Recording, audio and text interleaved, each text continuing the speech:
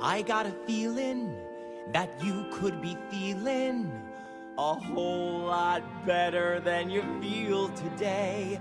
You say you got a problem? Well, that's no problem. It's super easy not to feel that way. When you start to get confused because of thoughts in your head, don't feel those feelings. Hold them in instead.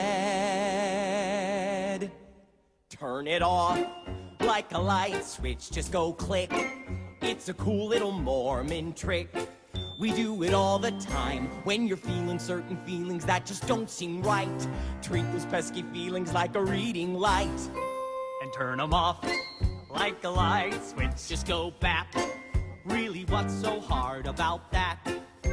It off! Turn it off! Right? when I was young, my dad would treat my mom real bad.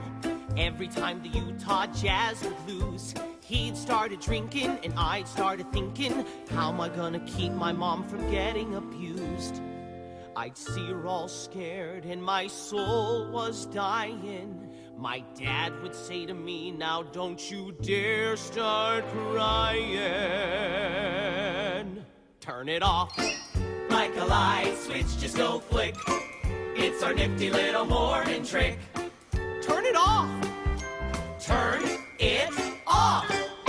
My sister was a dancer, but she got cancer. The doctor said she still had two months more. I thought she had time, so I got in line for the new iPhone at the Apple store. She lay there dying with my father and mother. Her very last words were, Where is my brother? Turn it off. Yeah! Bid those sad feelings adieu. The fear that I might get cancer too. When I was in fifth grade, I had a friend, Steve Blade. He and I were close as two friends could be. One thing led to another, and soon I would discover I was having really strange feelings for Steve. I thought about us on a deserted island.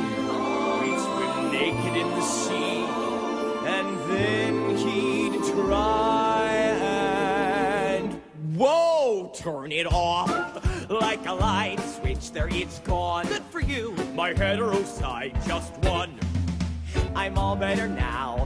Boys should be with girls. That's Heavenly Father's plan. So if you ever feel you'd rather be with a man, turn it off. Well, Elder McKinley, I think it's okay that you're having gay thoughts, just so long as you never act upon them. No, cause then you're just keeping it down.